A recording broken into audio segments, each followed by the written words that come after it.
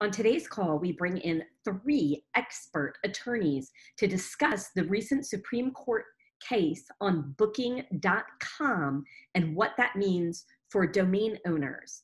Drew Rosener also joins us with his perspectives both as a domain investor and expert on domain name valuations and how the trademark ruling may affect that. Enjoy the show.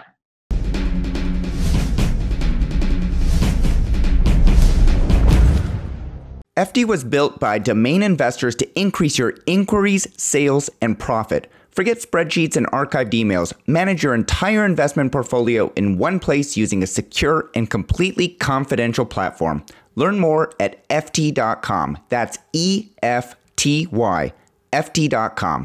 hey, Sherpa Network, I'm Tess Diaz, and thank you for joining us today for a show on Booking.com, the landmark Supreme Court decision.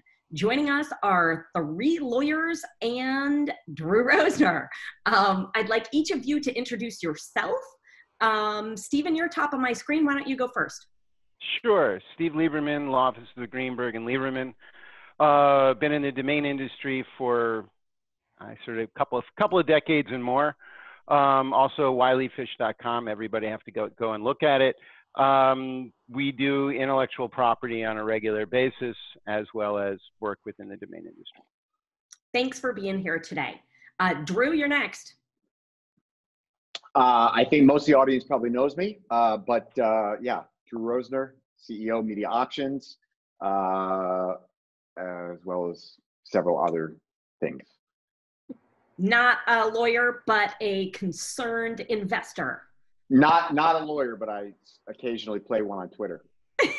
uh, but uh, uh, but a very happy client of all three of these fine intellectual property attorneys. All right, Karen Bernstein. It's been a while. How you doing? We're surviving in New York. I'm an intellectual property attorney in based out of New York City, but not really right now because of COVID. I'm in my summer home. Hope everybody's safe and well. Um, my firm's expanded. We have of counsel attorneys that also do corporate securities and also cannabis law as well as patents. I've uh, been doing this since well 2001, but uh, the the the domainer uh, crowd 2007. I'm very active with ICANN. Um, you know, I do UDRP and I go to court uh, occasionally and um, just love helping people. I always find it's a very great learning experience of being a lawyer and working with great clients. Super cool. Well, I always find it a great experience when I can meet up with you at a conference and have a drink. You're you're always a fascinating person to talk to. So I'm glad you're here. Uh, Zak Muscovitch, hello. Hello, Tess. Thank you uh, for having me. Um, this is Zak Muscovitch. I'm a domain name lawyer uh, IP lawyer and business lawyer. I've been practicing since 1999. And I'm also uh, the general counsel of the Internet Commerce Association. And thank you for all your service there. You put a and lot. Perhaps, perhaps the kindest Canadian I know. Aw. Um, so let's kick this off. Uh, Stevan, did you have some thoughts on framing this conversation? Sure. Um, well, everyone knows that the that the Supreme Court made a decision, and they basically said that because Booking added on .com, and that they were able to provide sufficient evidence, primarily survey, that the term Booking.com could be trademarked, and that it was not a generic uh, mark per se, and it was recognized by the general community uh, for their particular goods and services.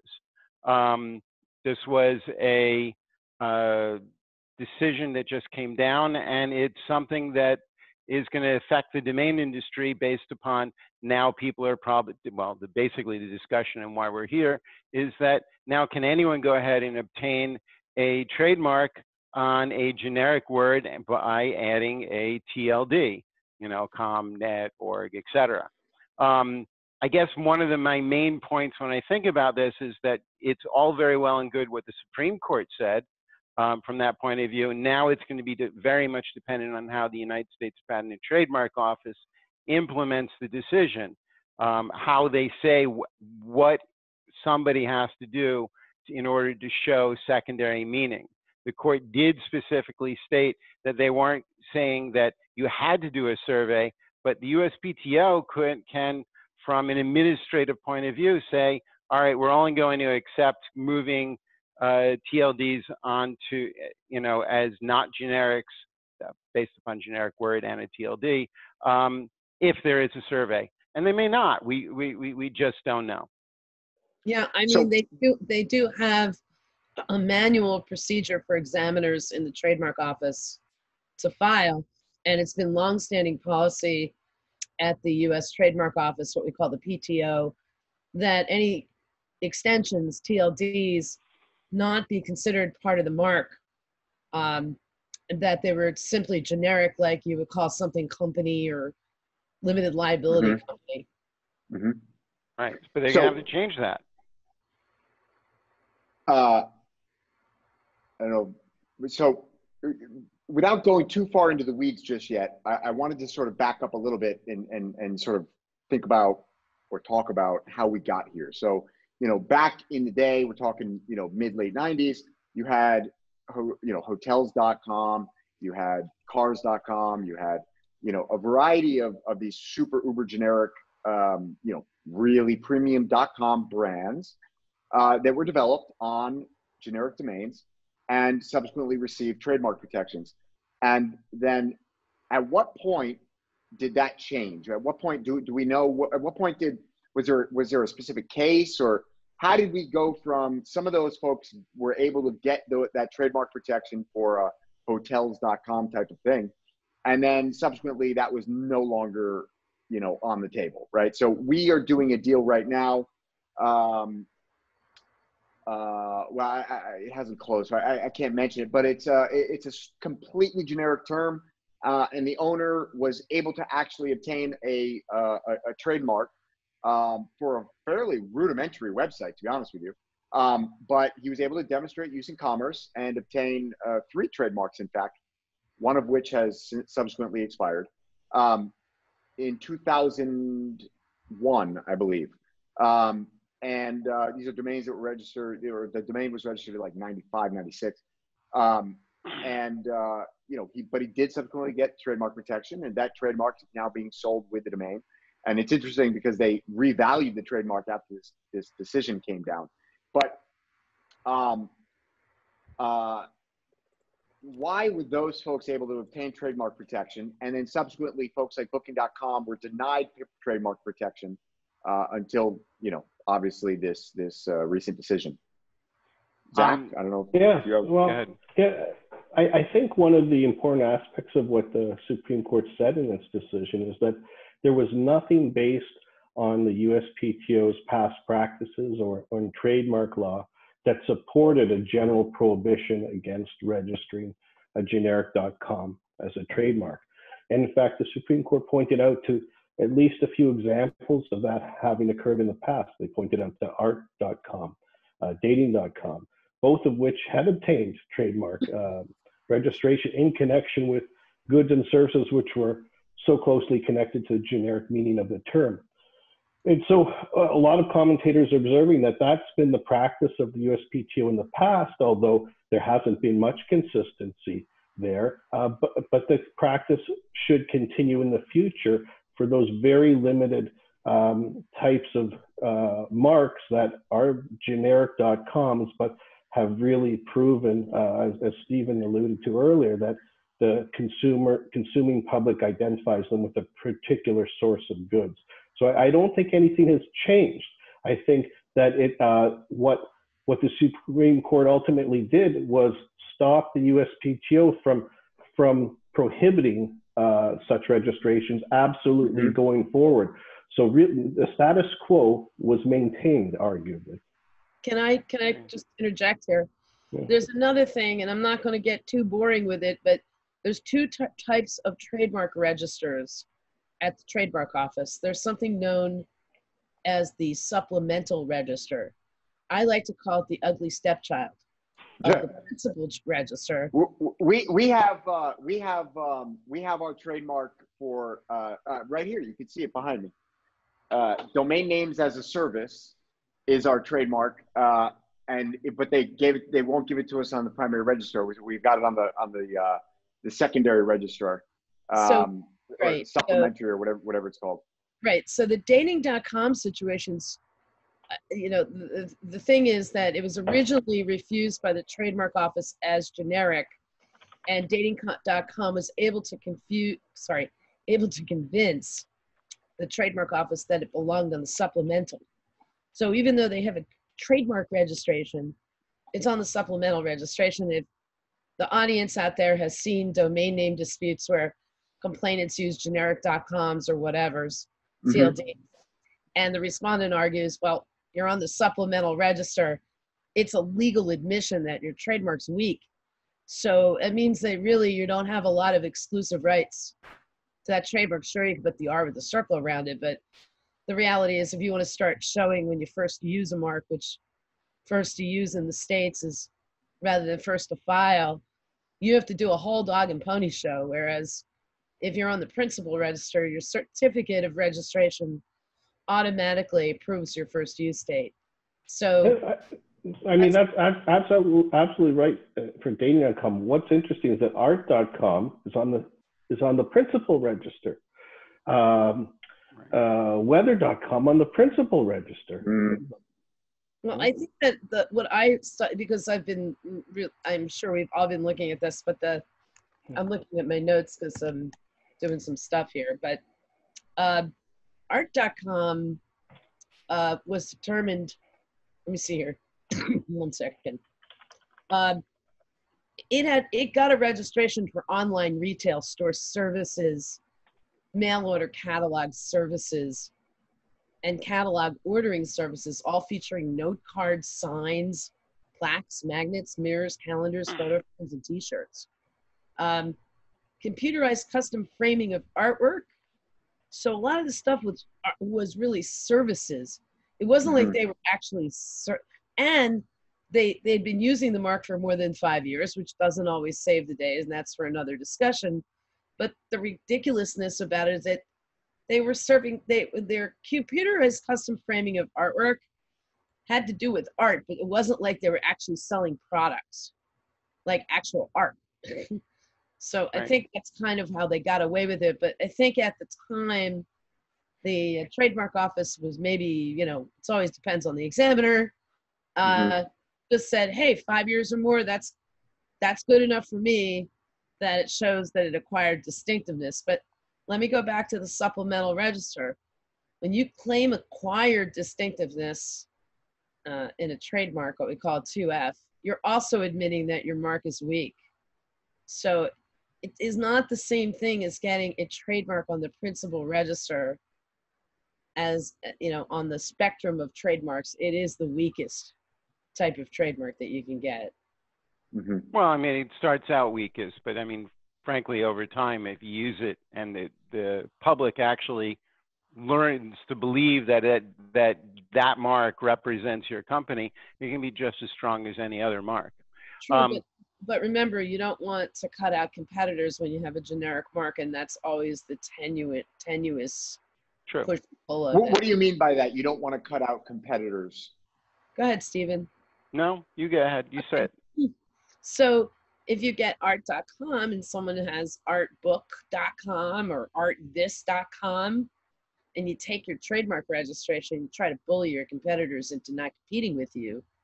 What trademark law is trying to do with generic names is to prevent undue competition, unfair competition by giving a monopoly to one party or the other, which is the big concern for domainers which is the trademark holder has some sort of com or dot whatever with a generic name and they go after not only trademark uh, not only domain name holders but also their own competitors. I have a case right now i can't tell you where they're using two words that are clearly generic and the sole purpose of them trying to get the trademark is try and knock my client out of the market so mm-hmm. that's the point you, you want to prevent people from saying, well, I own apple.com for apples. So I'm going to go after every single person who uses the word apple. In fact, I think it was Ginsburg, right, guys, that said that Booking.com case doesn't prevent someone from calling themselves booking, or not Mhm. calling themselves, but saying, you know, using the term booking. Mhm. Isn't that true? That's right. Yeah, I, I mean, and, and that that's been the law of trademarks since day one. That you're right. That that uh, uh, no matter how much money you pour into promoting a generic term, it can never become distinctive of a particular party. Right. So that's why booking, the word, can't ever be trademarked uh, for booking uh, services. But, Right. You know, I, she, but uh, the majority, for Justice Ginsburg, pointed out that that it's um, a different story when it when it comes to adding the dot com uh, because that that can or is capable in some circumstances of uh, having consumers identify with a particular service. I mean, one one um, uh, kind of uh, one thing that um, one of Booking.com's lawyers said recently, which I found interesting, which was uh, David Bernstein, who's also a UDRP panelist, and No relation. no relation. That's right. No, but- but- Yeah. So he's also a well-known UDRP panelist and and uh, IP expert, and he was one of the lead counsel uh, for Booking.com. Although he didn't argue the case himself in the court, that was left to another attorney. He said that what the Supreme Court decision is confirmed what millions of Americans already know, uh, which is that Booking.com is a particular business. And so when you hear Booking.com, you don't think of it as a generic general source for bookings of some kind. You you you know that it's the company, and millions of Americans know that through you know having them process millions of travel bookings and spent billions of advertising, etc. So in that sense, it's, it's a kind of a common sense decision. It it definitely is. That's they looked at the whole point of view as a common sense point of view, not from sort of the legalese, but it puts us in somewhat of a quandary pertaining to what is confusingly similar in this case. Up Yeah, until so I think- now, confusion has been and all right, you know, it's roughly the same word. You're in the same goods and services. You really can't do that now anymore because what if booking.com and I know they said they weren't going to do it in the Supreme Court, but what if they'd want it went went after booking.net? Would is that confusingly similar? And I'd say honestly it is. Well, you know, Even- Booking.com owns all of these domain names. I was just looking it up for the heck of it. They own everything from .org to. But it's true. what if Sure there's a Booking? TLD they don't It is. have. Yeah, and the question is, would No, they it's have a right to it, right? So that that's really, I, I, I guess, you know, look, this is Domain Sherpa. Our audience is primarily uh, two things. You know, let's say probably 70, 80% are domain investors. Uh, then you've got some sort of online marketing, and then you've got some people that are corporate domain managers, right? And so, uh, from the perspective of domain holders, right? Uh, wh- how does that apply, right? Like, so you've got, let's say Booking.com doesn't own Booking.net, and I've got Booking.net, and now Booking.com is just, you know, submitted their arguments to the Supreme Court saying that we're not going to go out and, uh, you know, chase down eBooking.com and HotelBooking.com, and we're not going to go do that. Uh, but you know, as as um, uh, uh, uh, some other attorneys have pointed out, uh, that doesn't really mean shit to a tree. They can do as they please. Um, now that may come up in a, you know, an opposing counsel would obviously bring that out and say, well, you said you weren't going to go do that, but I don't know that that has any legal basis whatsoever. So the question is, where do, where, where, and, obviously this is going to come down to case law, right? So, so we're going to have to start building that case law, but what, what do you think? What is your thoughts around, you know, our rights as a domain owner? So, so, you know, on the surface for months leading up to this decision, and I apologize for the tangent, but um, leading up to this decision for months, you know, I was really, really watching this case, and I was, I, I- watched it, I watched the, uh, not all of it, but most of it, you know, with the live feed. Um, it, it was really intriguing, and um, I, you know, I, I I was rooting for this decision. This is the decision that I wanted, right? And, and in my mind, it was the decision. It, it was the right decision because, as Zak, I believe, correctly pointed out, um, I think it maintains the status quo. And um, but it does, as I think Stevan points out, it introduces a whole new level of complexity. And so, So, as a domain owner, where where do we stand? Where, where what happens now? You know what? I, I'm sure all, all three of us have uh, good answers to that question. So let, let me uh, go uh, give my yeah, love. I want everybody's Yeah. for sure. So, so a few points. First is that um, what was what's been clear in trademark law and what was clear from the decision itself, and, and as Karen mentioned, is that these uh, kind of generic.com trademarks have the absolute narrowest scope of protection of all trademarks. On, on the on the spectrum where you have you know a made up term compared to a generic term, this one the made up term gets the greatest kind of uh, scope of protection. This one gets the absolute least. That's a general principle. that hasn't changed and was, and the court reminded us of it in the decision. Point number one. Two, interestingly, uh, in 2011, Booking.com got an EU trademark for Booking.com. And in 2017, they brought the only UDRP using the Booking.com trademark that they had obtained in Europe. The only one they brought. It was for booking.com.xyz. Okay, and you could see why they brought that UDRP, right? It, Mhm, and mhm. it, I think it's interesting that's the only one they brought when they could have tried to bring other ones. So Mhm. that's an indicator of, of not what might happen in the future, but of how things have happened in the past, and it might be an indication of how things happen in the future. Mhm. Third, point. if, if we apply this the applicable the right test, which is to give them the absolute narrowest scope of protection, and also continue to allow users to use the word of the English language, booking, uh, to describe what they're providing. My my view is that the proper application, whether it's courts or UDRP, would would prevent Booking.com from obtaining even uh, uh, uh, anything other than perhaps uh, typos of Booking.com. I think they would get that. I think they would be able to use their trademark if someone started, for some reason, uh, spoofing their website and putting a fake Booking.com logo on it. Mhm. Mhm. And uh, beyond that, I think they'd have a very tough time.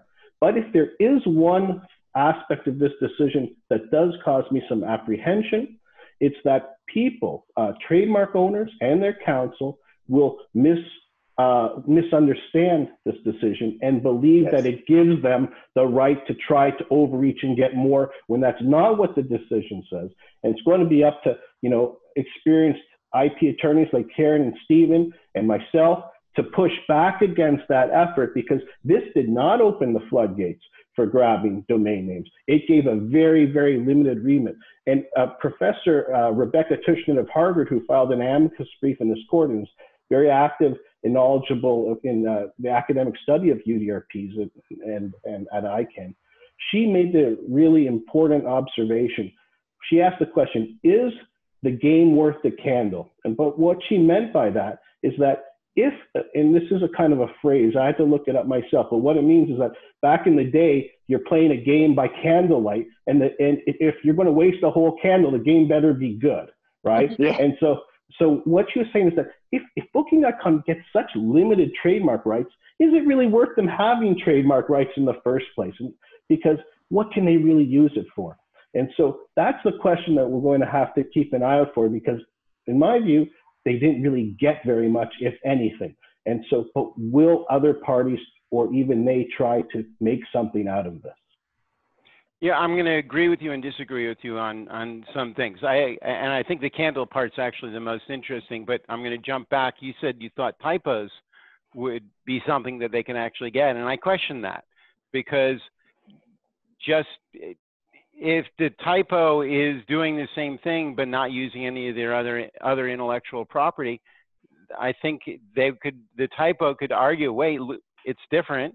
You have a very narrow trademark, and and and there's no basis here for you to be able to stop us from doing the exact same thing you're you're doing. I mean, for instance, booking B O O O O O K I N G, something like that. It's not the same mark, and um, it, I, I think they would have a hard time in that case. Um, the candle part's actually fascinating, and I actually spoke to a friend of mine who does valuations in other areas of intellectual property, and I've done a little bit of that myself.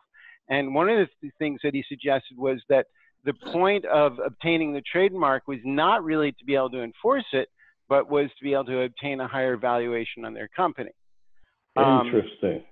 So it's more more being a financial sort of thing. Look, look at Andrew's to- uh, eyes light up. the, the gears are turning. The gears are Well, turning. I, I, I mean, so I, you know, Let me- let me I, just I want to hear Karen's points on this, yeah, yeah. but I, but let me just reflect on that for one second because you're right. I, my eyes light up when I hear that because so in my mind, you know, I'm looking at this not just as a domain investor, but as a domain broker, and I can tell you unequivocally that the greatest hurdle to well, well, one of let's say two or three of the greatest hurdles that I face in my daily, you know, uh, uh, the discussion, negotiation, and, and sales tactics of selling high value domain names, which are typically very generic domain names, some being used in generic fashion, some being used, you know, in a non-generic way.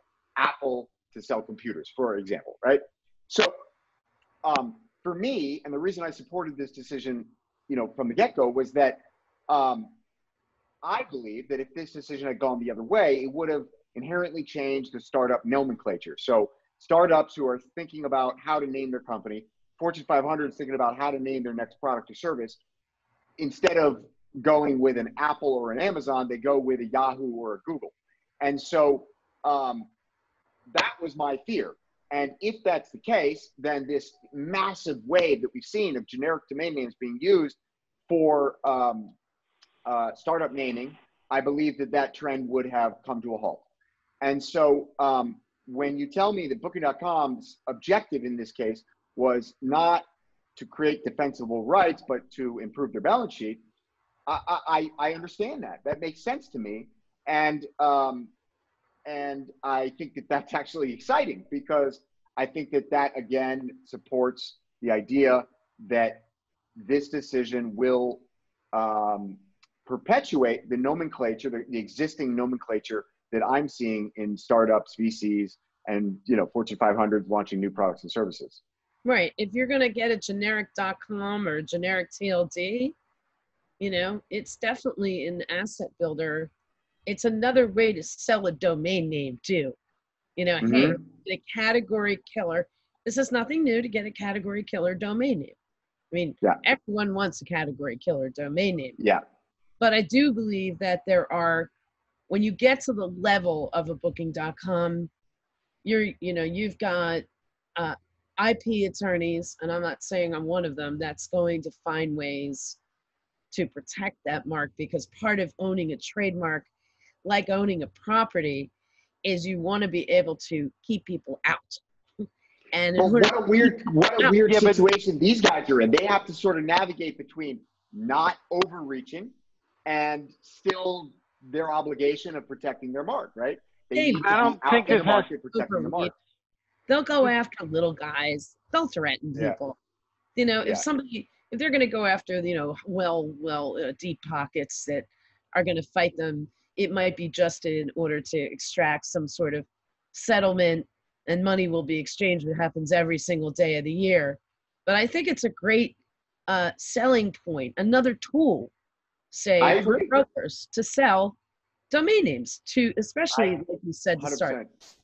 You know, you know what? The greatest thing about the, the decision to me has nothing to do with the law itself per se. It's that the Supreme Court of the United States is talking about generic.com domain names. That Yeah. blows me away. Amazing. It blows me away. Right. You know? Mic drop, right? Mic drop. Yeah. Amazing. I agree. Can I- 100%. Can I just throw in a monkey wrench here? Yeah. Um, interesting discussion. Uh, uh, I will credit Doug Isenberg, uh, who you may or may not know, who's a panelist. I don't know, he's a WIPO or the Forum, and he has a blog called GigaLaw. You're welcome, Michael. I mean, Doug. Um, in there, he points out there is a discussion in the in the opinion that they are not. I forget the the term that they use, but we call them domain hacks. Okay. Mhm. And Yeah. so the decision was very, very clear to point out that this decision has nothing to do with domain hacks. So Mhm. if you want to call yourself, I forget, give me a good domain It- hack. I think it, I So think the example green was dot house. So we own greenhouse.com. Uh, uh, uh, What was and the green example, dot Zak? house. tennis.net, I think. Was it? That's awful. Ah, good. That's a great one. you might recall a million years ago, I wrote an article on projectme.me. Full Right, disclosure, right. I'm .me's general counsel, but that's beside the point. Anyway, Project Me uh, they read the entire domain name together with the TLD. And at, at the time, I think it was 2008, it was such a big deal because nobody did that. So I thought it was interesting that, that the Supreme Court said this doesn't have anything to do with these types of, I forget what the term was, but we call them hacks. I, you know, I mean, this should probably be reserved for an entirely other domain Sherpa episode, but it is such a fascinating topic.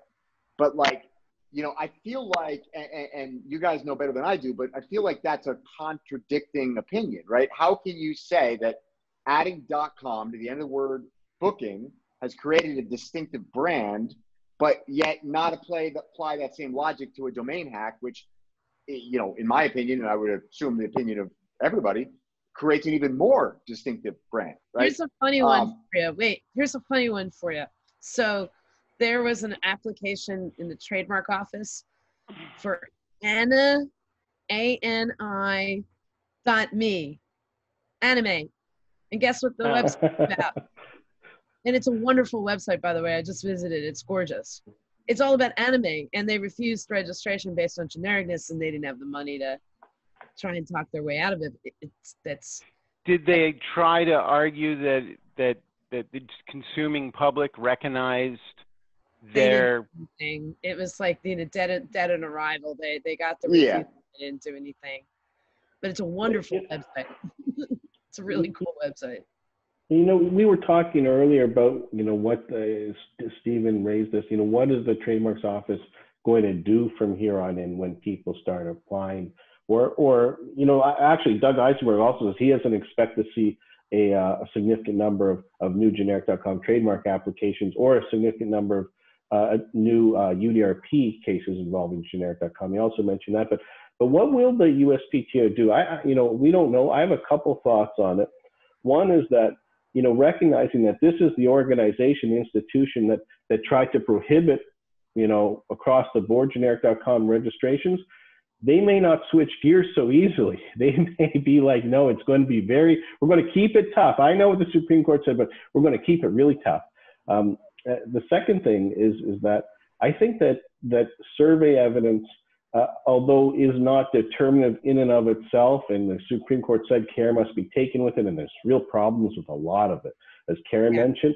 I think that if the, if the crucial part of the Supreme Court test is consumer identification, really it's going to be uh, tough to, to prove consumer identification of a particular brand without without survey evidence. Yes, you can go to media reports and dictionary uses and magazines and other internet sites and stuff, but at the end of the day, if you have to say that the consuming public knows that Booking.com is a particular company without a 50 state survey, uh, I, I, think you're going to have a real tough. Well, time. I mean, do they have to do yeah. a 50-state survey, or do they just have to do a sufficiently large enough survey across the internet that's going to let them be, reasonably argue that the consuming public actually knows? Because you always go to the question of who is the actual consuming public. Um, mm-hmm. We've seen surveys lots of time, and if you you couch a survey with uh, with the wrong questions or send off the questions to the wrong people it becomes essentially worthless. And you spend um, gobs and gobs of money on these survey experts, and, and like you're saying, Stevan, you know, are they going to be? Is the trademark office going to be judge and jury to determine that this particular method of survey of methodology of the survey is reliable? I well, mean, they've always been a, the judge and jury, at least at the initial stage. If you don't like it, then you file an appeal. Right. Um, you have a lot of money to fight that. I mean, that's my point. The average person or company. Well, then let me give you a different question. Does that mean that this is really only usable by those entities that have a lot of money? Is this made almost a I think so for good reason, but for good reason. Yes, a it takes a lot of money to actually pay for the surveys and for the lawyers to prosecute this all the way through. But but the the good reason really is that only the largest companies that spend the most money will be able to to have that consumer I agree with you on that. Which is what exactly about, right. Hold, hold wait, on, wait, wait. Zak's making the most important point because, it, it, as far as I'm concerned, because it's exactly that. The you only can obtain that distinctiveness by spending freaking billions of dollars to, to, to make the whole what about these Twitter company and not just a, you know, some you know, I, I don't even know what people think, but people are pretty stupid. So people believe that, you know, uh, uh, if Booking.com popped up tomorrow, people would think like, oh, it's some, uh, you know, it's just a part of the internet. Like, they, they don't really get, I don't know. People, it wouldn't be necessarily perceived as distinctive. This is a company. This is a brand. It would just be like, oh, it's this. Traffic, internet traffic and social media would be enough to put you over the hump for a generic TLD. Well, what that what's the hump? I guess right. The- Like, so this yeah, is- but the, there's no definition of what the hump is. It's Exactly. what is the consuming public. There's some of these Twitter things where you got millions of people looking at them, and people put their .com domain on it. And maybe if it were generic and somebody didn't have a lot of money, and but the consuming public may actually recognize it, but they wouldn't have the, the money to actually do the litigation in order to get it all the way through. That doesn't You're- seem all that fair either. Well, here in the States, there's apartments.com. I'm not going to be surprised if they file, if they try to make the same argument as booking.com. They run so many ads all day long. That takes a lot of money. And you're saying to me that a social media like Twitter, I don't know. I, I, I guess it, it's so subjective and you never know what the trademark office or a court may buy. But I think that they really look like the UDRP panels to substantial expenses profits mm, mm, you know all of these different factors to to get to that point. point and we all know as trademark practitioners that booking.com was just another one of those cases that said survey evidence worked here I, I absolutely agree with you, and that is what happens. But I'm questioning whether that's really the right thing, whether that's correct, because the internet has changed the way things uh, happen enormously over the last couple of decades. This, this, this was going to be. Go I, ahead. I, I, would, I would say that that uh, Stevan's point uh, that uh, social media usage uh, can contribute to the argument that um, the public is aware of a particular brand. But at, at the end of the day, I think to to of, to connect the dots of the public is aware of the existence of a brand, but identifying it with a particular company, you probably need the survey evidence to close that circuit. But not not uh, the the court very clearly said that survey evidence is not the only source. Uh, you can go to other sources, but without it, you're going to have a tough time. but i like stevan's point because I, it would be interesting if there was an incredible you know amount of followers on a twitter account or social media in general to be able to make the argument in a survey that they identify it.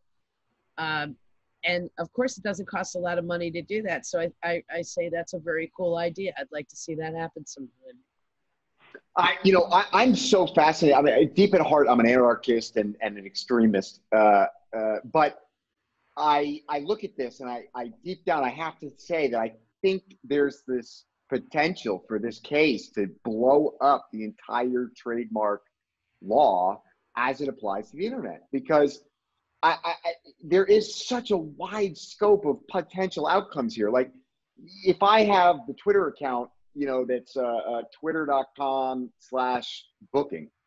Uh, and I've got, you know, 15 million followers. And, uh, you know, I'm referring people to bookings on Twitter, right? Now, can I now contest that? Like, like, or, or let's say I have a Twitter account that says Booking.com, whatever, for whatever reason. My, my company was called Booking Booking.com because we do booking, you know, communications, you know, hotel booking communication. Now what, right? What, what?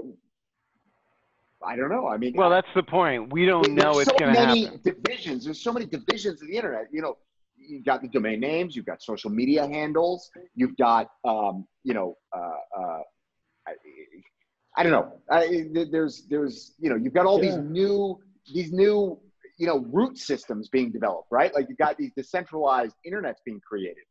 Um, You know, from unstoppable domains to uh, handshake and, and Namebase. You know, you, you've got a variety, and there's others. Uh, uh, how do you enforce a trademark like that? Uh, well, I mean, there's three angles here. How do you enforce it? How do you even how how can you grant it? And then you know, uh, can there be multiple? Like like you know, uh, I don't know. It, it's such a strange Uh, Yeah, you know what? You know what's interesting, Andrew, is that over the years, and you know, Karen and Stevan have probably noticed this in their respective practices, as have I, is that the social media handles has become an increasingly important part of the IP, right? And but we Mhm, have, you know, co- we have court and we have UDRP to deal with domain names, but when it comes to trying to get a, a, a handle back from a, a platform, they have their own internal opaque, you know, uncertain rules, and you never know how it's going to come out. So, I mean, we may start seeing more procedures for the handle aspect. And, and do they have any obligation because they own What? it, right? You, What- you don't what? own it. You, a- as the registrant of a social media handle, Yeah. you don't have any ownership Yeah. rights. I mean, this is the, the this is the whole cancel culture, right? This is this is at the root of cancel culture. Is you know, not your handle, not you know, uh, uh, uh, not your platform, not your handle. Uh, uh, you know, Yeah, so lo- yeah. A lot of them say you're not even allowed to transfer it, even though we both we all know you're people transfer them for substantial money on a regular basis.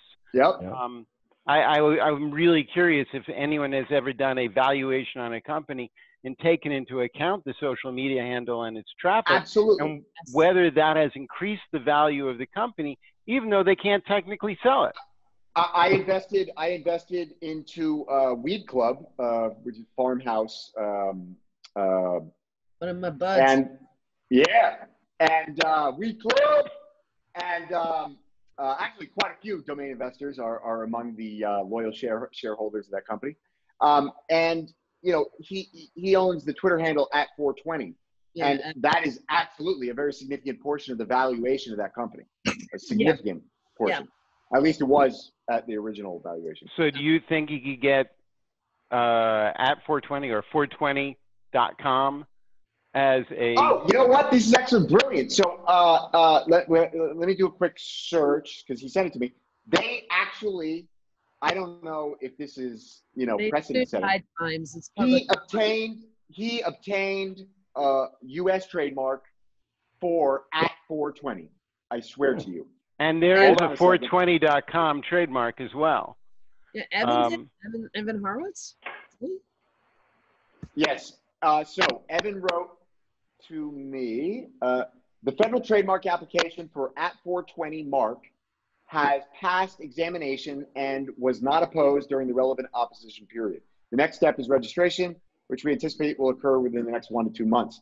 well, Um, where's his and the goods and trademark services? is- Yeah, that's Hold on. question I had. so it's literally at 420.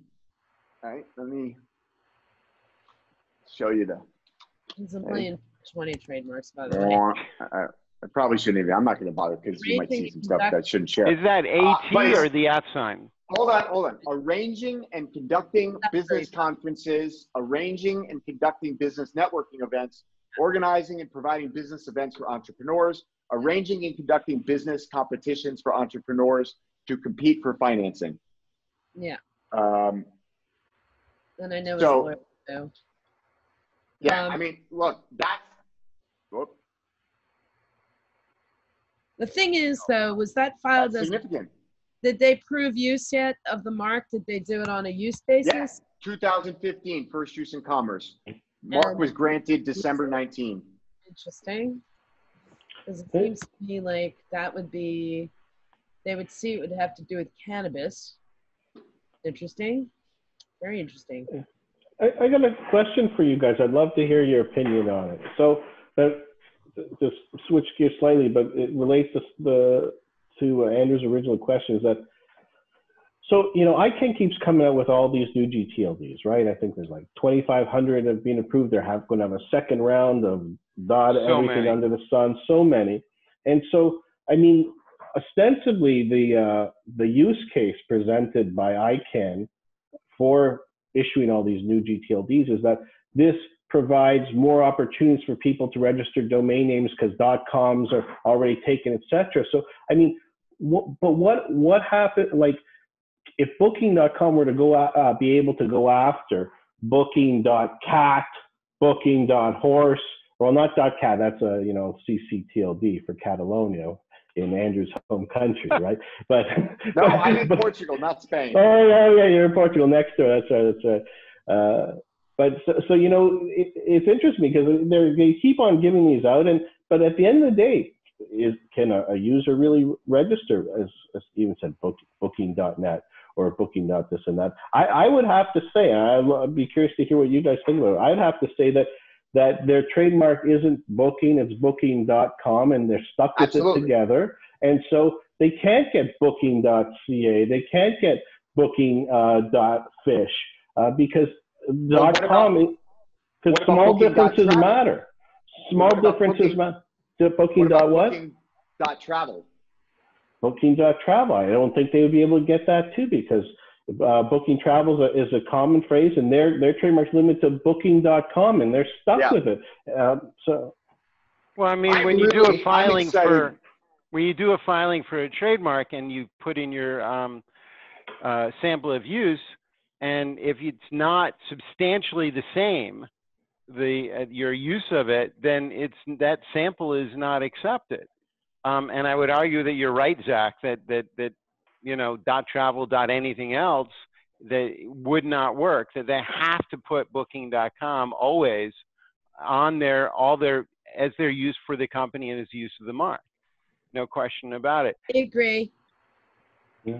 Me too. So what- So, so just so just so there's more clarity, even for the, the viewers watching, suppose we added an, another word before the booking.com. Suppose we Mhm. added like travelbooking.com, hotelbooking.com, uh, Portugal hotelbooking.com. What about situations like that? They they that too would be different because it's not really. do- I mean, as Karen said, this is a very narrow mark, and if you add on that additional word, Well, it's oh, not oh, the same to mark. be cor- I To be correct, it's not a mark yet, So, uh, no, no, you're right. They right? haven't. Because the, the, the mark has not been granted. The mark. Yeah, no, no, no, no. A mar- um, you're talking about a registration. Um, It, Okay. Remember, registration doesn't give you a heck of a lot more than you already had beforehand. All of your rights and trademarks come from common law, come from your actual use in commerce. at least in the United States. But I do I do think that if it was like whatever your examples, blah blah booking.com, Oh, I think yeah. you could make a reasonable argument that it's confusingly similar because it's Well, part of the But then everything's And because confusingly the- similar. Well, but then that's my point about the, This this whole case left. blowing up trademark law because the left. well, then you know where I you, you know you can't have your cake and eat it too. It's like either this mark has absolutely no merit, right? Uh, in which case they're not entitled to any of that stuff we're talking about, uh, or they are, right? So what's the point of issuing the mark if they're not entitled to really any protections? Now, I guess it does apply in the sense of uh, I think Zak pointed out like like somebody spoofing their website and using booking.com on the website, right? Or um, you know, uh, I, typos is probably in a, a more gray area. Spoofing is probably more directly correlated. Um, and, and I would imagine that would give them some some protections in that area. But you know, it's real. The part for me, and, and I think for most domain investors, that that is going to be most interesting to see is how is this applied in terms of the dot .net, the dot .org, the dot whatever, right? And and it, it you know how is it going to be interpreted and used by by the you know the panels and the trademark office? Um, and the risk that the domain investor is willing to make in investing in that generic dot .net or other TLD. But Yeah. I do think that we have pretty much derived based on Stevan's uh, interpretation, and I agree is that, or was it Zak? I can't remember which guy, but the fact of the matter is booking.com is their trademark. So for a domain investor to be looking at booking.nv or booking. Of course, trademarks are country by country, but let's say with a GTLD, booking.pizza, booking. You know, whatever there's out there, they're going to have a very difficult time. They're not going to be interested probably in obtaining those domain names. I don't, don't see, you know. But if it was booking.com.pizza or booking.com dot whatever Well, Let me Yeah. let me Well- ask a question. left of the Um, dot, they they will have rights. That's one of the examples I always give to clients is I say, you know, imagine your mark up on a uh, banner in a, on, on a street, and then imagine the other, the registration, uh, right next door, and they're selling the same, have the same goods and services. Now, imagine the general consuming public, let's imagine you are the general consuming public, and you're walking by, and would you think the two stores were related? So let's do that with this. We'll have booking.com up on a sign, and right next door we'll have booking.com.au. Would you think that would be the consuming public would be confused? And I guess we have to walk by on the internet since the consuming public is only on the internet. But still, uh, would they actually be confused and think that they were the same company? I, I would argue yes. yes. I think to I the left of the dot that booking.com is going to have more of an advantage. If it was Portugal booking dot NV, I'm making this up, or it was Portugal booking com dot NV, then I think they would have a case there because it's to the left of the dot. So here, here's here's an interesting little anecdote. Um, Booking.com does in fact own uh, Booking.com with one O, right? So double letter is usually the most common typo, right? The most common typo of Google is G O G L E. Um, they so they do in fact own that typo, which is probably the most common typo. Um, they do not in fact own Booking.com. So and it's it's a you know it's a it's a definitely owned by a domain investor. Um, what? How does that apply? Booking.com.com, right? They should that. that- When did they this register art- the domain name? Looking for the What's the defense. first question? Yeah. yeah. Yeah, But, you know, It's listen, a I- priority. shit out, you shit out of luck. know. I think booking booking.com.com is really close to that UDRP that I mentioned to you, which was booking.com.xyz, where the domain was transferred and arguably rightfully so. And so, you know, look, let's look, take a quick look at what the Supreme Court said about these Ah, kinds see of what's going on there, Andrew. Okay. Yes, permutations. So, you know, it, the Supreme Court said in this decision that, you know, the, the Trademarks Office said that it, it fears trademark protection, giving prote- trademark protection for booking.com because it could exclude or inhibit competitors from using the term booking or adopting domain names like ebooking.com or hotel-booking.com. And the Supreme Court said, you know, that is a, is a common concern for descriptive marks that there's, there's always been this concern. But responsive to it, and I'm quoting, trademark law hems in, hems in the scope of such marks short of denying trademark protection altogether. And so I, I think for domain investors and their counsel, they have to, they'll, may have to push back strongly if they see overreach by trademark owners and, you know, citing that kind of position that says, listen, you got the most minor, minuscule kind of trademark there is. It's hemmed in by justice, uh, uh, by the justice of the Supreme Court. And so that's all you get. Yeah, so I agree on with that, that. point.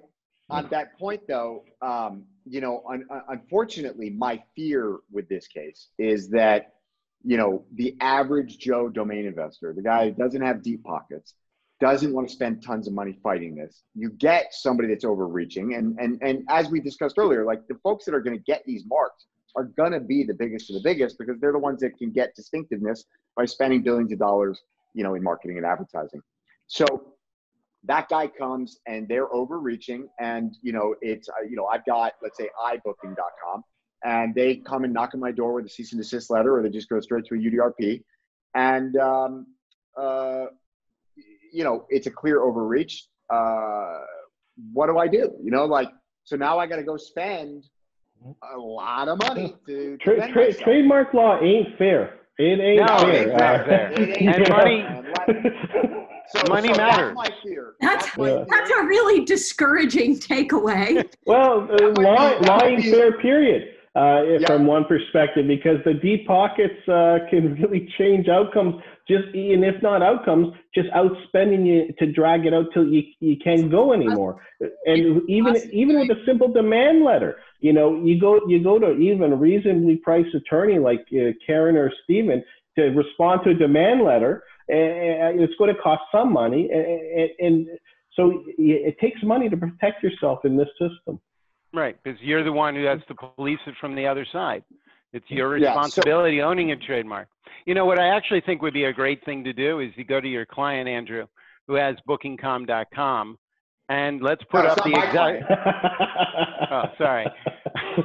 Well, it actually, it might be. I have no idea. I actually don't know who. I thought it. everybody in the domain industry was your Mhm. client. Come on. pro- Probably, they probably are. They probably Right. are. we could put up a, a, a site that does the exact same thing as booking.com.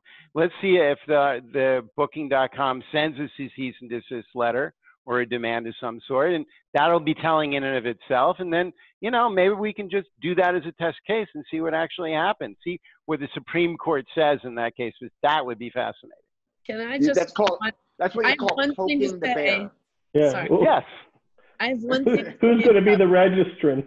Yeah, yeah, I'm going to address Uh, A, a, a foreign Nevis Hold corporation. on, hold on. You're talking. You're talking over. You're talking over uh, uh, Karen here.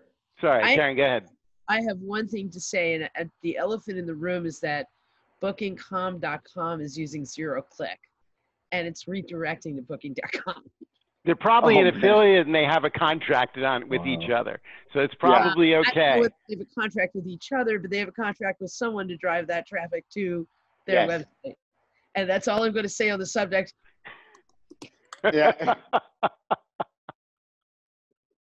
Um, Booking, So- booking.com, if you're listening, uh, you just saw uh, an attorney you got to hire to uh, enforce your rights.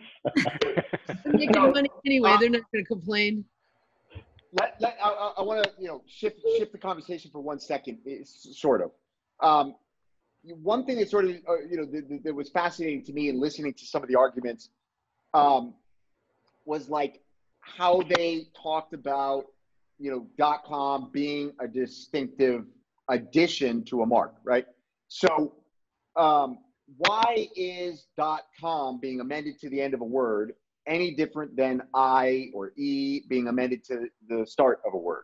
Why, why is that any different? Like, why is iPhone a very powerful mark, but phone.com probably can't get a trademark for selling phones, right? Or, or you know, uh, producing a phone.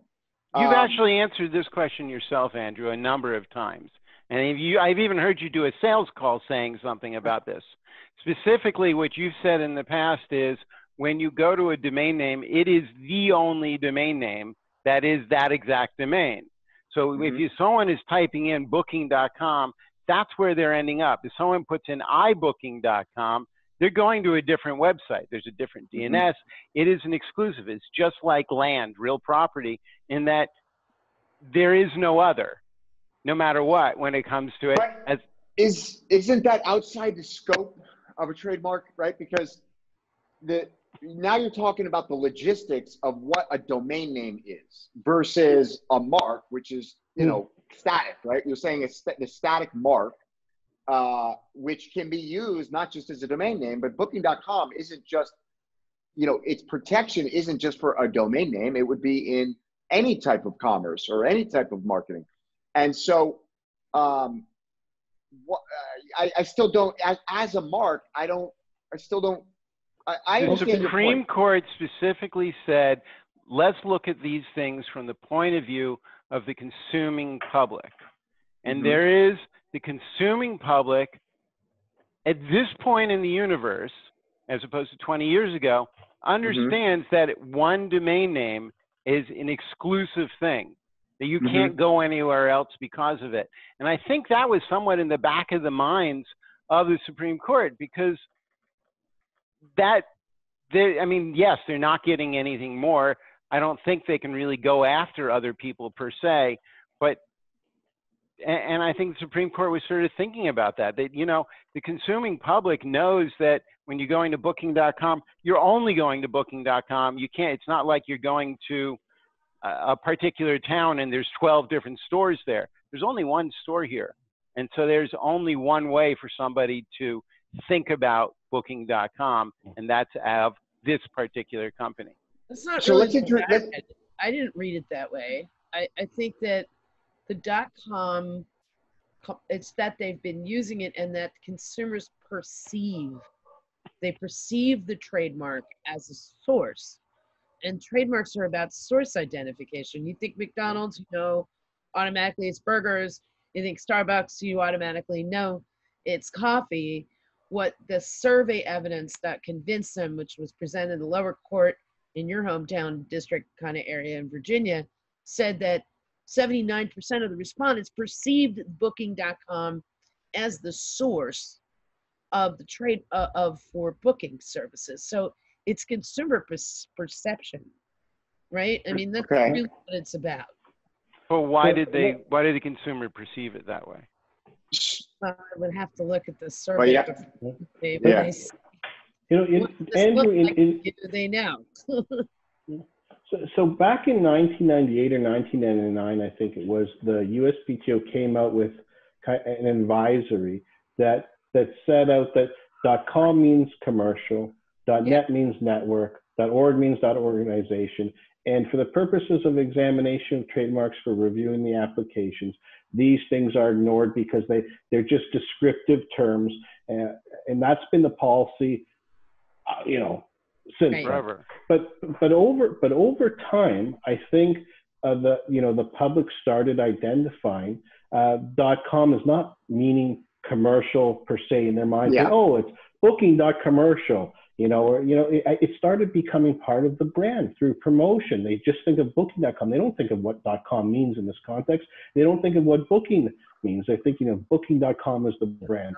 And so I think that's what the court really, you know, identified is that these days, after 20 plus years of the explosion of the commercial internet, the dot .com isn't like dot .inc or dot .llc, uh, .lc or dot, uh, dot .limited. It's not like having wine company or wine limited, uh, which you can't get a trademark over because because uh, there could be many different companies all over the states called uh, you know wine com- uh, wine company limited, etc. Whereas with trademarks, you can only only have one. So I think the Supreme Court made the right call on this. They said, listen, we've seen we've seen the evolution of the commercial internet. We we now know that consumers are able, uh, in certain situations, based on a lot of money and spending, to identify uh, a generic.com with a particular company. Mm-hmm. What about the, you, you brought up an interesting point. So, what about if I now create a company called booking.com LLC, uh, but I don't even own booking.com, the domain name. But my company, there's nothing preventing me from calling my company booking.com LLC or you know uh, you know apple.com uh, uh, limited um, assuming i can find a jurisdiction there where you know where that company name isn't already registered i, I could you know presumptively uh, register that company name and, and, be called booking.com llc i start conducting commerce uh, can i now fight booking.com and their trademark well, well first I, of all you're you're you're you're making the assumption that setting up a corporation actually means something. The only thing it means is that you get to be taxed. Um, no, no, hold on, hold on. But uh, uh, uh, I, am engaged in commerce, all right? So, so okay. but separate the, LLC, two. Separate the two. Okay. They're very. It's very important to separate the two. You're setting well, up a company. Yes. Not really. You're setting right? up I mean, a company is not trade a trademark use. Okay, it is. But if I, it's a I trade a name, company, and a I've trade name and a trademark are not the same thing whatsoever. It's your use of that mark in commerce, specifically associated with your goods and services, that actually makes it into a trademark. Okay, but let's say I start booking.com LLC and I am now, you know, doing bookbinding or, you know, whatever it is that I'm doing. You um, can actually go. Look, I, I see nothing wrong. Remember, no no entity oh. has a right and a right and gross to a mark unless they're litigated pers- uh, uh, famous. So yeah, okay. go ahead, set up Booking.com and and do bookbinding. It's a di- sufficiently different goods and services. I don't think there's any possibility of confusion. Okay, so but I, you know, I, I I'm leading you in this question. So what I ultimately intend here is that what's stopping somebody from utilizing the logic of this decision to then set up companies uh, you know, somebody like Michael Gleitner, Gle- uh, Gleissner, Gleitner, uh, the Bigfoot guy. yeah.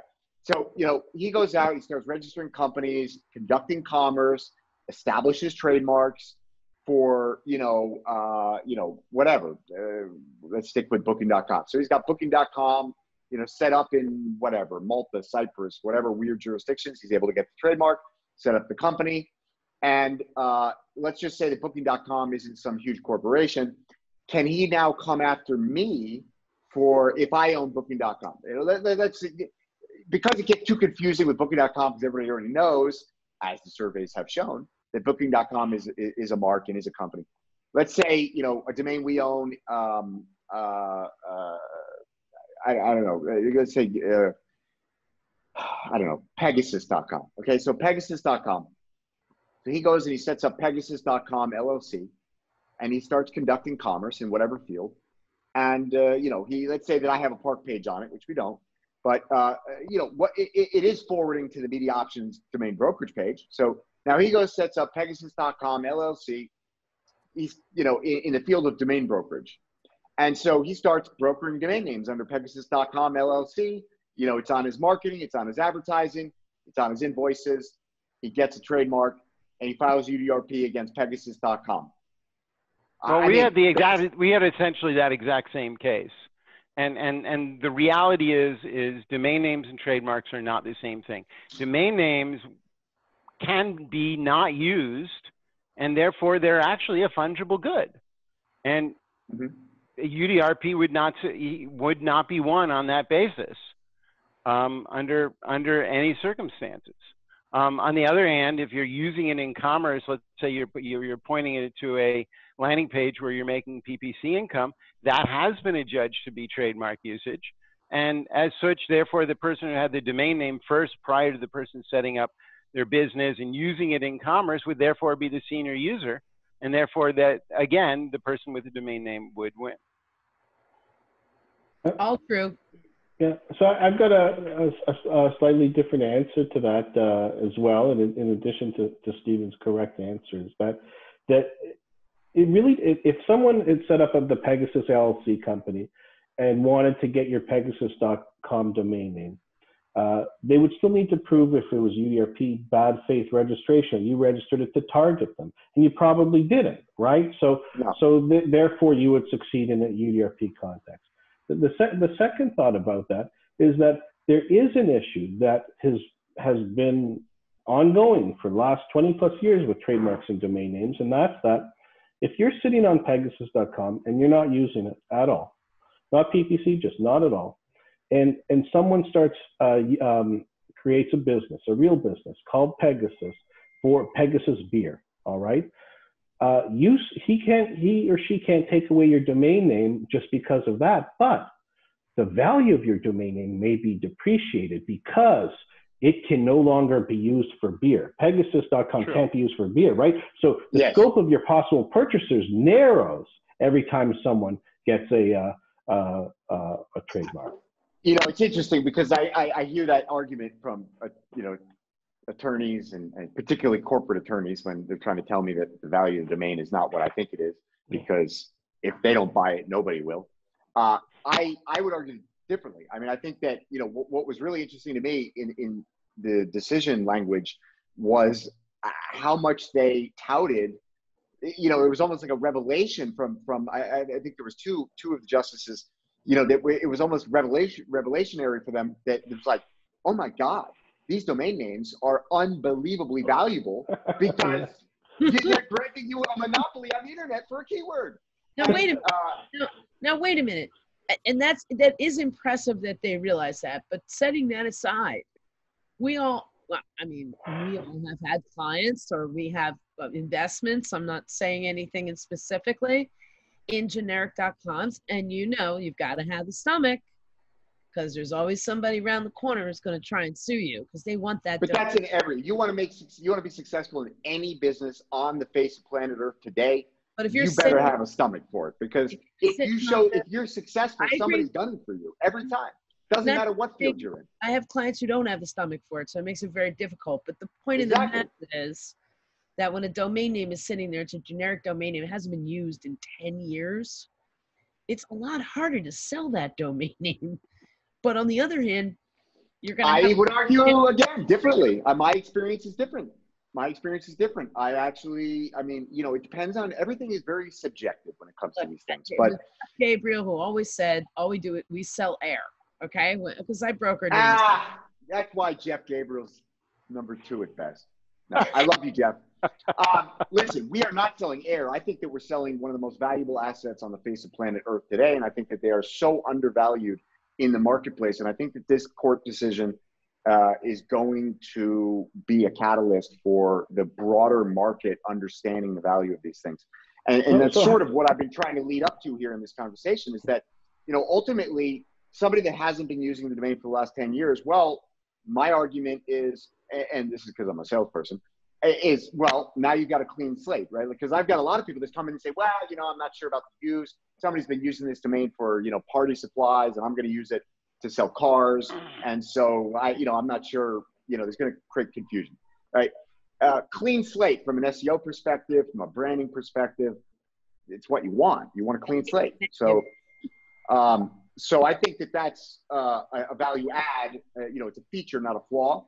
Um, but I think that in terms of you know uh, uh assessing further value to a .com domain name as as a result of this decision, um, you know, I think uh, it provides hope, right? So so again, just coming back to what I said at the very beginning of this conversation, when I'm talking to you know a corporate attorney or to a you know chief marketing officer or whoever it is making a decision about a six and seven figure domain name, these folks are their primary concern is less about the money and more about am I going? We just lost. We sold Stretch.com uh, and way undersold it, uh, and, and, it, should have sold for a lot more. Um, uh, I guess that's a redundant statement. Uh, and the reason is that we had a buyer at five hundred thousand uh, dollars.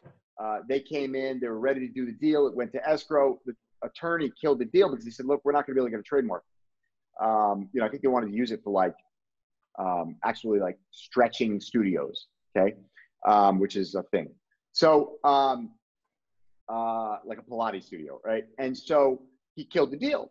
And you know, with the Booking.com decision, I could have said, well, actually, uh, if you can establish yourself as Stretch.com, the place to come, you know, to do stretching, you can get rights. You have hope. There is a window now we there is now a window that you can go through if you can establish yourself as distinctive and and and that is really key now one thing that i think is important to um, highlight is that this what, I, what i'm talking about here this this this this this window this this additional value is not going to apply to smaller domains it's not going to have the same effect on you know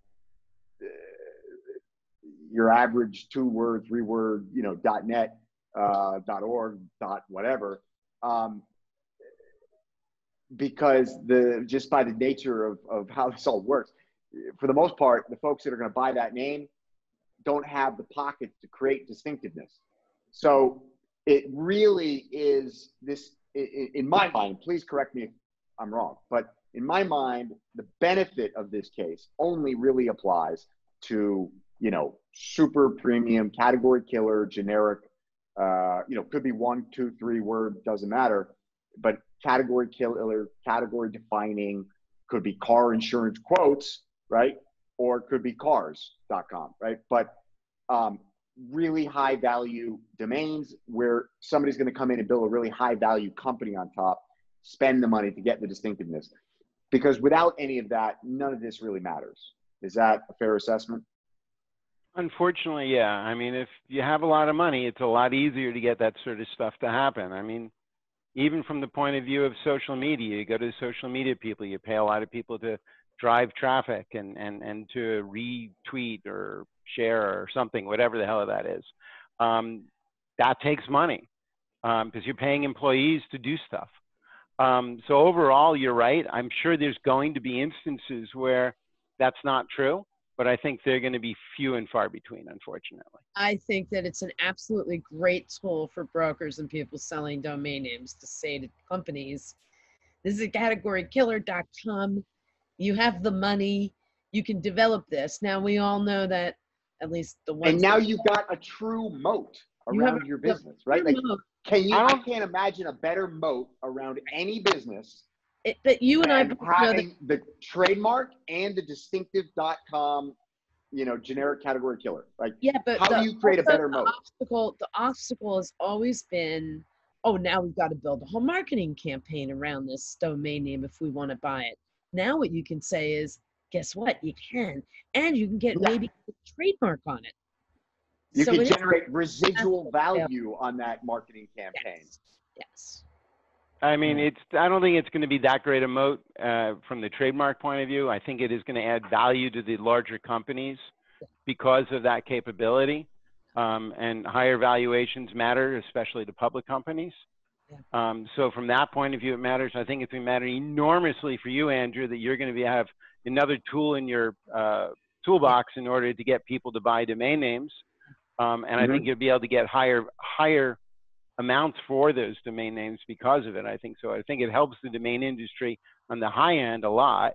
Yeah. Um, I don't think it's going to help the low end, frankly, at all. Um, Yeah. And I wonder what's going to happen when you people start applying for trademarks here in the U.S. and then they're they're able to get them here and they're not able to get them in other parts of the country, other parts of the world, because now we have different standards um, depending upon your jurisdiction. And you, it used to be the standards were much closer, and I think the standards are started sort of drifting apart a little bit. But that could be an entirely different discussion than this one. So I, I, want to wrap it, you know, do a little like lightning round here at the end with um, sort of what are the benefits to domain investors, what are the risks to main, domain investors, um, and sort of just get all your opinions. But I want to make one comment before that. Um, I don't remember what the, the attorney's name was, Karen, but you, you mentioned, uh, and I think Zak mentioned it too, uh, uh, one of the attorneys um, who said he didn't think that there would be a, a you know a wave of trademark filings and uh, UDRPs. I disagree. I've had two clients. You know, we're, we, we're, we're a boutique business. Like we only broker, I don't know, Tess, what do we got? 10, 20 domains right now for brokers max. Um, and so uh, of those, let's say 10, 12 that we got, two people um, reached out to me and said, hey, read about this booking.com case. Do you think I should go apply for a trademark for my generic.com? And uh, and I said, no, I don't think you should because you know you're not even using it. What are you going to apply for a trademark for, right? But that's not the point. The point is in the mind of the average Joe, and these are not average Joes. These are you know one guy is uh, one of the largest debt restructuring uh, uh, Superman you know of, of the world, uh, billionaire. The other guy is, a, you know, very successful executive, business executive. These are very intelligent people. These are the people that represent these types of companies who will then subsequently read these articles and decision and say, "Oh, let's go file a trademark." Right. So, I, as a non-attorney, as a domain broker, representing 10, 12 domain names, two of those people reached out to me almost immediately after this case came down after this ruling came down and said, "Hey, should I now, uh, you know, in various forms, but basically, should I go out and and file a trademark now for this domain name to increase its value?" Um, so, my answer to it is not important. My what's important is is the perception in the general public is that oh wow now there is this new window for everybody who's got a generic.com to come out and file a trademark and then probably in the same vein they'll say, okay, now I'm going to go out and, you know, I'm going to get that domain squatter and try and file a bunch of UDRPs that are unfortunately going to hurt, you know, domain investors in, in my mind, just because they're going to have to spend senseless money to defend their rights. Um, so that is, that's been my experience over the course of the last, whatever it is, two, three weeks since that decision came down. Um, Andrew, um, two, I'm going to make two comments and then I have to run because I've got a hearing to go to. Um, one, I agree uh, because I've had that happen to me as well. I had one client that wants that's actually we're going to be filing a, a mark uh, on a generic.com, and another client who has uh, came and said, you know, do we really want? Maybe we should just file 8,000 trademarks. And I said, you're crazy. you don't want to do that, um, and you don't understand the ruling whatsoever. Um, so I, I, dissuaded him from going in that direction, even though it would have been a lot of money for us. So but yeah, I mean, the majority, the majority, unfortunately, the majority of, of, of attorneys, in my experience, uh, and I forgive you guys, but um, uh, you know, they're readily happy to take your money and file that, you know, trademark. Readily happily to take your money and file that UDRP. I mean, in the number of bad UDRP cases that get filed, you can see how many, you know, let's say unscrupulous uh, uh, IP attorneys there are who are readily happy to take their client's money to file a frivolous UDRP, file a frivolous. Attorneys are not supposed to let cases move forward that have no merit, and that's including trademark filings, including UDRPs, including court cases. What Sure. people do in reality and what people think are frivolous and isn't is an entirely different story, and yet another discussion. Um, yes. But yes, I think you're right. I don't think the consuming public don't really understand what this means, and I think it, only time will tell as to find out what it really means. Um, So that being thank- said, thank- yeah. Thank Let's- you. Well, I was just say, so so thank you. here and Share your insight. Question. right. I gotta go, guys. It's good Okay, talking to you. Uh, before you guys run, uh, uh, Okay, Jackie bye, Perry, Stevan. Just Bye. bye, Stevan. Really quick, uh, just for the summate, because you know some of this was probably um, uh, went over the head of some of our audience. Really quick, assuming that the audience is is is is you know your average Joe domain investor. Um, what are you know sort of bullet point format? What are the benefits to your average Joe domain investor, if any? And what are the risks to the average Joe domain investor, if any? Karen? All right, so let's see. Let's do the benefits. So the benefit is that if you happen to be lucky enough to have acquired something that seems, it could be a two-word generic.com. You know, let's see, like uh, I don't know, carwash.com. That's a good one. Mm-hmm. Mm-hmm. You own carwash.com, and you've been using it for a long time, and you got some investors you could get more investors that's the that's the what i think would be for the average person to say i own carwash.com and i want to raise money to build this site Nah, out. but that's getting outside the scope. We're talking about, you know, buy and hold domain investors. I bought a domain on dropcatch.com. I bought a domain on GoDaddy. yeah You know, well I bought a domain from somebody that hasn't used it in 10 years. All I'm doing is buying a domain, sticking Yeah. it in my inventory. Maybe I'm parking it, maybe I'm not. Yep. Um, Yeah. Any benefit or any risk to me as, you know, I, I, I, you know, dri let's say carwash.com expired on GoDaddy. I bought it. I paid, you know, 100 grand. I've got carwash.com now. It's in my inventory. Anything I need to be thinking about here because of this case?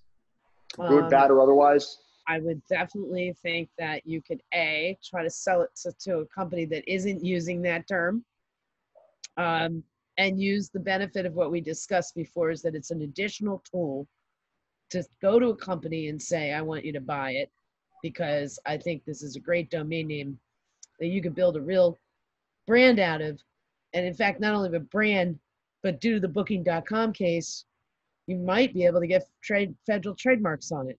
It will add Mhm. value to your company. You will Mhm. add value to your company. So that's the positive. The negative is that you might be setting yourself up for a lawsuit because lo- there are a lot of big companies out there that are looking for generic.coms now to build on to get trademark rights on so it's kind of scary and it's kind of good at the same time you Mhm. have to be willing to take chances and if you really wanted to avoid having an overreaching company trying to steal a domain name like carwash.com from you through a UDRP or a lawsuit, you might want to make it about something completely different having nothing to do with car washes. Mhm. But I will say, and I'm not saying to use me, it's always good to go to a trademark attorney and have them do a trademark search to find out what kind of ways you can use that website on the domain name so that you can avoid getting sued. Because there are others out there who might use the term car wash for something other than car washes.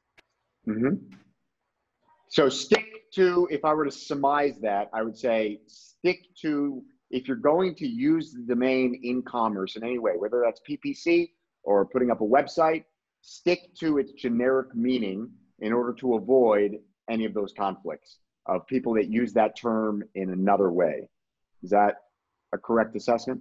Yes, no. I would say that not necessarily sticking to the generic is that you make sure that what you're how you're using the site isn't infringing on someone else's rights. That Mhm. if you are using it generically, you could still get snubbed unfortunately, by uh, a big company coming out of the woodwork. However, you're better off on a defensible point of view using the site for something having nothing to do with car washes, provided that you have a way through a professional, a trademark professional, and make sure that you're not using it for something like, I don't know, entertainment services. Because, you know, I know there was a movie years ago called Car Wash. So, Yeah. Zak? Yeah. Um, So uh, my takeaway from the Booking.com decision is it didn't change the law and it didn't change the domain name business, but it changed perception in two ways: one good, one bad. The way it changed perception in a good way is that uh, companies may now perceive, based upon the attention uh, that the Booking.com case got, that their generic.com may have more value because there's a clear hope that it could become a registered trademark. That's a good good uh, change of perception. The Mhm. bad change of perception is that some people, whether it be uh, legal departments and companies, marketing managers, uh, IP attorneys, may misunderstand the implications of the decision and try to misuse it uh, to overreach, whether it be UDRP or in the trademark context. Uh, so th- that's my takeaway. Great, great. So, uh, you know, as a domain investor and a domain broker, I, I, you know, really appreciate this conversation because it's helped, you know, clarify what I think has been a very confusing thing in the domain industry, um, both among domain, you know, domainers uh, uh, of whatever, you know, uh, type, uh, as well as the attorneys. I mean, there's been some some uh, lively discussion among some of the, the attorneys on Twitter. So um, I- I think uh, this has been really helpful in sussing that out, and I appreciate uh, you know all of you uh, helping do so.